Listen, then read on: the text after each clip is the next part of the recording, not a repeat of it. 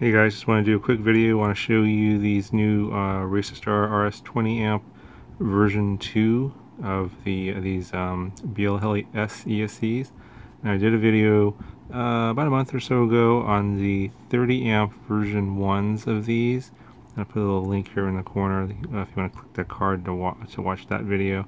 That's um, basically the same ESC, but the motor wires are soldered on already. These have solder tabs so there's no motor wires.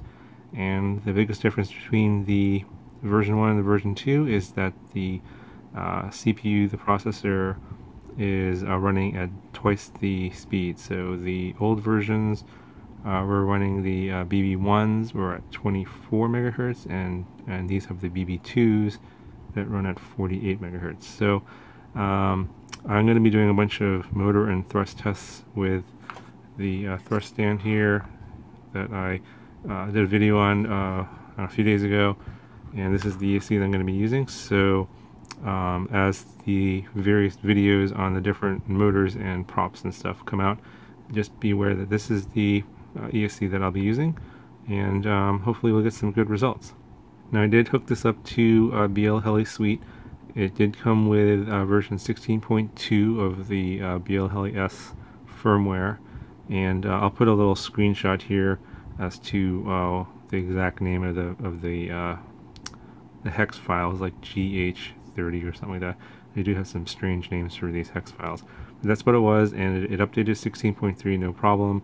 And I've already calibrated this and everything. It's got the uh, proper settings and proper motor timings and everything. So um, pretty easy to do updates, and it should do that through um, uh, the uh, CleanFlight pass-through as well. So if you want to uh, flash these through your flight controller, it'll it'll work perfectly fine through BL Heli Suite.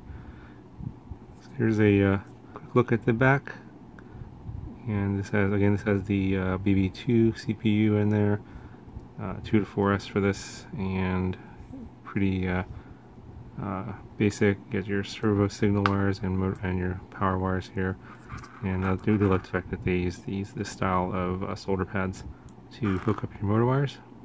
And you guys, just a quick look at this uh, new ESC, the version 2.